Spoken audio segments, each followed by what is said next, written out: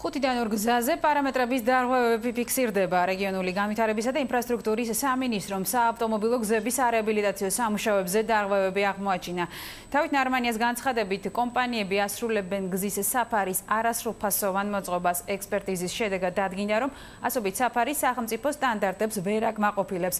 დარღვევები გამოვლინდა ქუთაისშიც, ტყიბული ამბროლაურისა და თბილისის სენაკი ლესელიძის საავტომობილო გზებზე სამუშაოებს კომპანიები ერგოკატ მაგედონია და მოდერნ სერვისი ახორციელებენ. მასალები უკვე გადაეგზავნა შინაგან საქმეთა სამინისტროს გამოძიება და ადგენს თუ რა ფინანსური ზარალი მიადგა ბიუჯეტს და თუ რა სანქციები დაეკისრება კომპანიებს.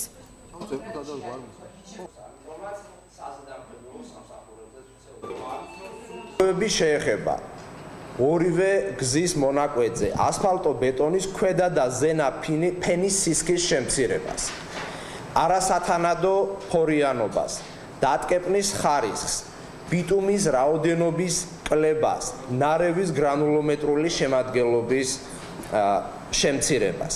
ასფალტობეტონის ზედა ფენის სისქე ერთ-ერთ მონაკვეთზე 9 სანტიმეტრისა შეადგენს 5.2 სანტიმეტრს, ხოლო ზედა ფენის სისქე ნაცვლად 4 სანტიმეტრისა შეადგენს 3.2 სანტიმეტრს.